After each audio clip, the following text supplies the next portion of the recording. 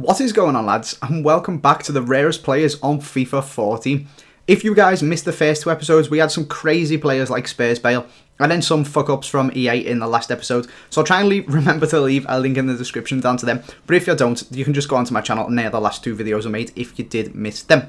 With regards to this one, if you guys could absolutely smash the like button, that would be awesome for me. If we could hit 500 likes, that'd be absolutely quality, as I think we have done that and come close to doing that on the past two videos, which is absolutely quality. It really does help my channel out.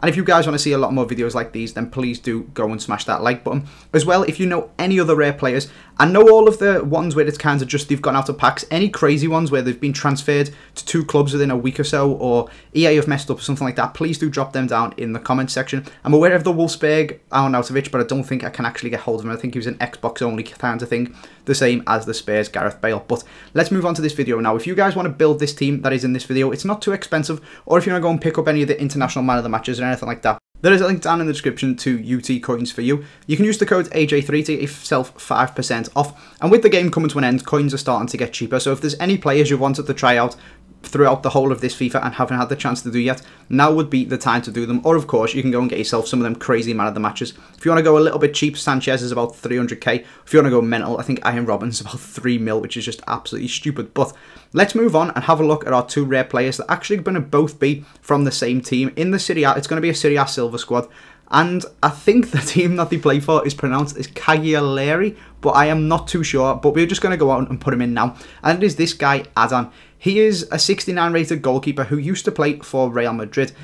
According to his Wikipedia page, he was part of the Real Madrid first team since 2010, but he played seven times, so they basically terminated his contract, and this guy moved to the City to play for Cagliari, and he played two games for them before he got fed up and just thought, fuck this, I'm going back to Spain, and he went and signed for Real Betis instead, so not too sure how that can even happen, happen. maybe him and Cagliari just decided to mutually terminate his contract. He didn't like it there or something like that. But he played two games for them. He went into packs on the 30th of January and came out of packs, got a better transfer card on the 7th of February. So he's in FIFA for two weeks. And that means, as you can see, for one week, sorry, I can't even do maths now.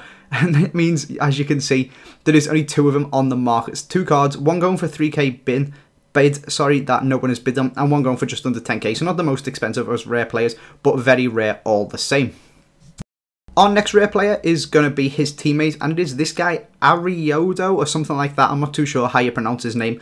I am absolutely terrible about pronouncing Italian stuff, so I've probably butchered the team name, and I've butchered that guy's name there, but he is extremely rare as well, and he's a little bit of a more simple one, just one of them ones where he moved teams and he went out of packs. He moved to another team in the Serie A, whose name, again, I am not going to pronounce because I would just absolutely butcher it. So not a massive one, not a crazy thing happening like that. Literally just, not many people had this guy. He moved to a new team, he's been out of packs for a while, and there's just not many of them on the market. If you search on the market, you can see there is absolutely zero of them. I was picked up the only one that was available when I searched for him. I think I got him for 1400 coins, which isn't too bad for a rare player, but none of that crazy rareness and stuff like that. Literally just a guy who hasn't been in packs for a while and nobody's really kept hold of, put him up on the market. He's actually a decent player. He's got a high defensive work rate and a low attacking work rate, which is very good. 74 defending and 72 heading for a silver is pretty good as well. But as you can see, he's just not about very much. It doesn't really affect the game, as you can just use his other normal Serie A card playing for his new team. So nothing absolutely major, unless you wanted to get a link to that Adan guy. But he's just another very rare player. So they are our two rare players for this episode so far. One absolutely crazy one, and one just a guy who has left the pack. So what we are now going to do is I'm going to wave my magic wand. The team is going to come, and we are going to have a look at who I have built around these guys.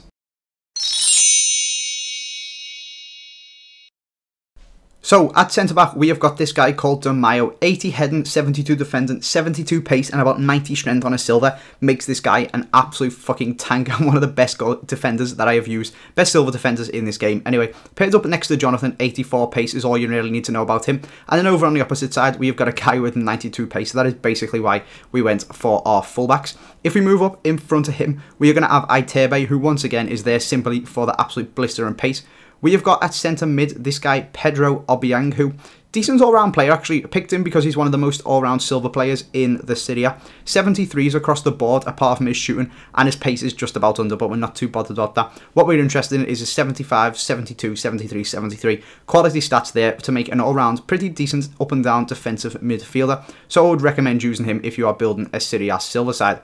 Over on the right hand side, we have got Fefat a FIFA 13, FIFA 12, absolute legend, but didn't really get too much out of him in this team, probably more suited to right wing. Centre attacking mid, we have got Marquinhos, again, a very good player. You can pick up his other transfer card still in this area if you really do want to, but I just had this one in my club. He's a little bit more expensive, so you're probably best going for the transfer.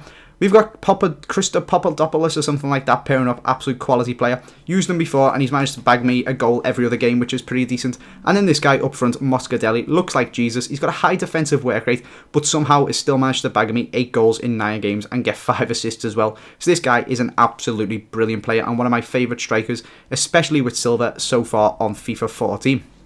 So that is the team, lads. I am not going to show you guys any goals because you didn't seem to be too bothered about it last time. You just wanted to see the players and the squads. If you are, though, pop it down in the comment section and that is something I can bring back for next time. I'm always open to your guys' criticism and changes and stuff like that, as I am just making videos for you guys to enjoy. So let me know what you guys would enjoy the most. Apart from that, like I said, if we could hit 500 likes, that would be absolutely epic. If you are new here, make sure you subscribe for more videos like this. Pokemon FIFA will be returning pretty sharpish, so look out for that one. I am currently working on making that. Pretty exciting stuff there. But from that, lads, make sure you subscribe if you're new, like I said. Thanks for watching, and I will see you next time.